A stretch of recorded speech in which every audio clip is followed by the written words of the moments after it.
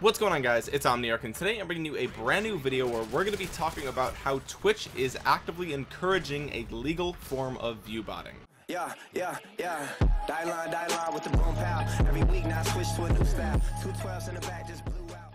If you guys didn't know, view botting has been around since essentially the beginning of Twitch. Once Twitch started to take off as a game streaming platform, people have been attempting to artificially boost their view numbers through botting. And essentially what this used to entail and still to to a degree what it entails today is getting a piece of software um, or some server or something like that some service that will basically take different fake accounts and force them to pull up your stream and you know leave them up essentially as if they were a person accessing your stream and watching it you know actively. Now to a degree twitch has you know banned people for doing this. They've also uh, you know put restrictions on how people can go about doing this. It used to be much easier back in the day. It didn't even cost anything to get 50 or plus viewers. All you needed was essentially a piece of software um, and and a bunch of IP address that you would load into that software and you could just press a button and bam you now have all sorts of people who are viewing your um, your your account.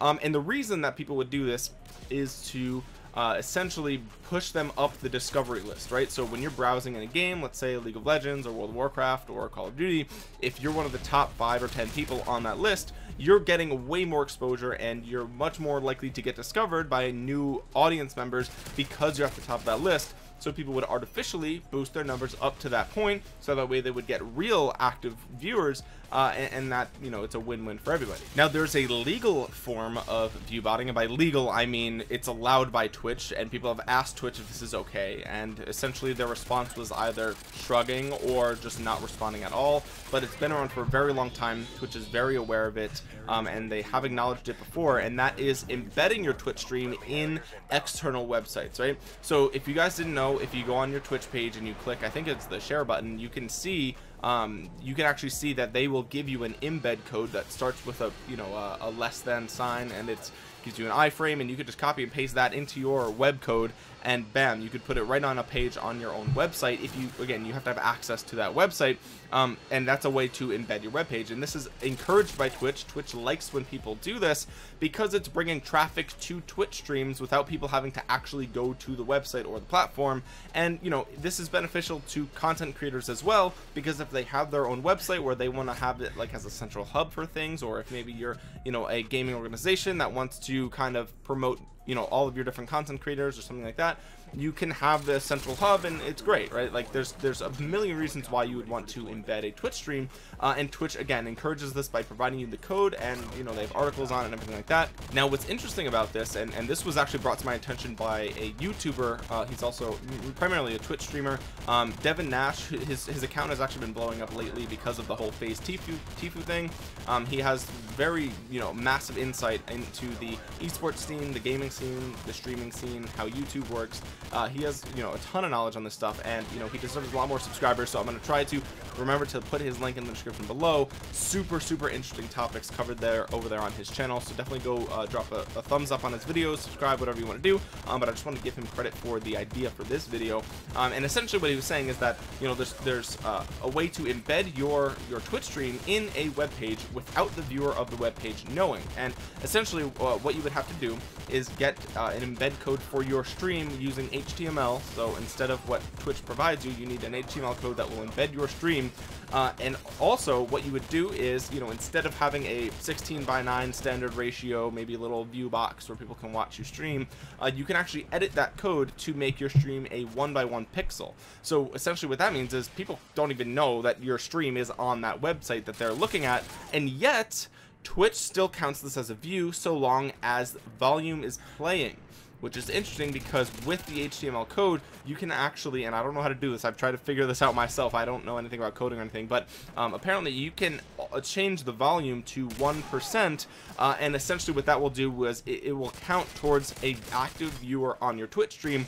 So yes what I'm saying is you can embed your Twitch stream at 1% volume taking up a single pixel on a any particular web page that you can get access to and anyone who's viewing that web page for whatever content is actually on the page uh, that will count as a view. Now this has massive implications right? Because not only is it artificially raising your view count because effectively the person viewing that web page a doesn't know they're watching a twitch stream because they're not uh, and b they're not actively participating in the twitch stream and c they are not viewing any of the ads that advertisers are paying to be put in front of twitch streams. So that's huge right? Like advertisers uh, you know they might think that they're reaching all these people but a lot of these viewers might just be uh, coming from external sites with a one by one pixel and that ad money is just thrown in the garbage. It's it's, it's a waste right? Like advertisers they're being fooled because the, the twitch numbers are inflated artificially by this specific method. And of course we don't know how prevalent this is. It's probably not as prevalent as you think because it's not that easy to get access to websites with a meaningful number of visitors and traffic on a monthly basis.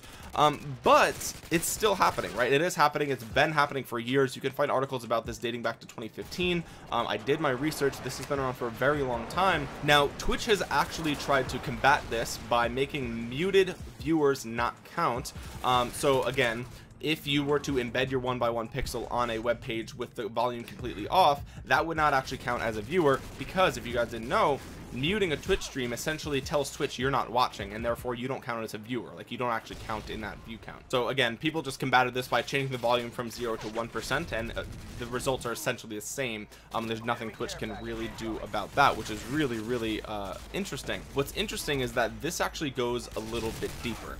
Uh, I saw a couple of months ago article and a, a story broke about um, Twitch promoting Twitch streamers using their external website. So by this I mean there is a website called Gamepedia and essentially it's trying to be or it aims to be the Wikipedia of gaming right? So they have different uh, they have DayZ content League of Legends content Minecraft content everything right?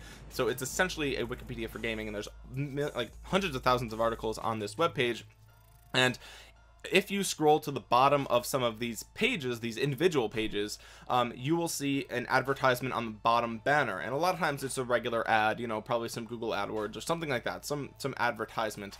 Um, but sometimes instead of seeing an ad you actually see a random Twitch streamer which is interesting. And those people I believe they paid to actually get on that web page. Um, so essentially you know you anyone who's viewing that web page and goes down to the bottom counts as a viewer to towards this Twitch stream um, and this is artificially again as we talked, this is artificially boosting up their view numbers. Now they did actually say that the Twitch stream does not load onto the page until you scroll down to it which means that you know just by hitting that page doesn't mean you count as a viewer. You know where like let's say you know you, you you land on a web page and the twitch stream is all the way down here but you're only viewing you know this much of the web page um you know because the Twitch stream stream is down here, you don't count as a viewer because you haven't loaded that Twitch stream yet. Um, so they could have made it so that way just landing on the page will load the Twitch stream and you then count as a viewer. But instead, they took a slightly more ethical route and made it so that way you only count if you scroll to the bottom and then then you're a viewer. So I turned off my ad blocker and I tested this myself today, which is June 26th, and it still works, right? It's, Gamepedia is still doing this. You can go to articles on Gamepedia and check the bottom of the page, and sometimes you will see a Twitch streamer on the bottom um, and this is kind of a win-win right? Because Gamepedia gets to still sell their advertising space and the viewers of the web page aren't bothered by an ad but instead a Twitch stream which is fine. You could just ignore it either way. It doesn't matter. Um, and it helps the Twitch streamer because now they're getting more exposure um, rather than you know Pepsi or whoever would have bought that ad space regardless. Um, so you know it's kind of a win-win right? But the interesting part is that Gamepedia is actually owned by Curse and if you guys didn't know uh, Curse was purchased by Twitch. So essentially what's happening here is people are buying ad space on a Twitch website for their Twitch stream. That way they can artificially boost their view numbers for their Twitch stream using a Twitch website. So it's it's it's kind of like this this loop of like you know is this allowed? Yes.